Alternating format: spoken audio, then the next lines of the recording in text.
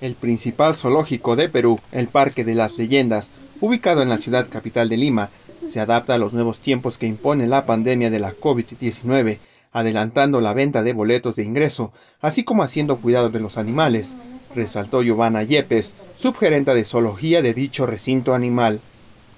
La funcionaria precisó que esta iniciativa busca superar los dos meses de cuarentena que ha impactado negativamente en los ingresos económicos del lugar.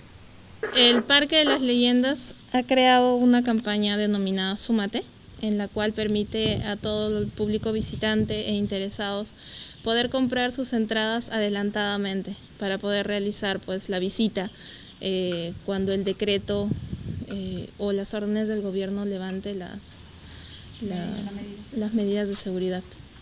La presentación de la campaña Súmate fue recreada también con la puesta en escena de ejercicios de caza y marcaje territorial que hacen los tigres de Bengala, pese a estar en cautiverio.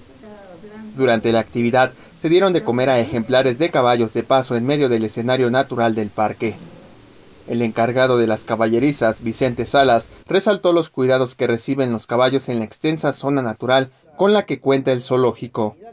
Tenemos un área de 1500 a más eh, metros cuadrados que tienen todo, todo el día ellos están sueltos, a su libertad y en las noches lo guardamos en cada uno de sus boxes cada uno para que puedan descansar tranquilo.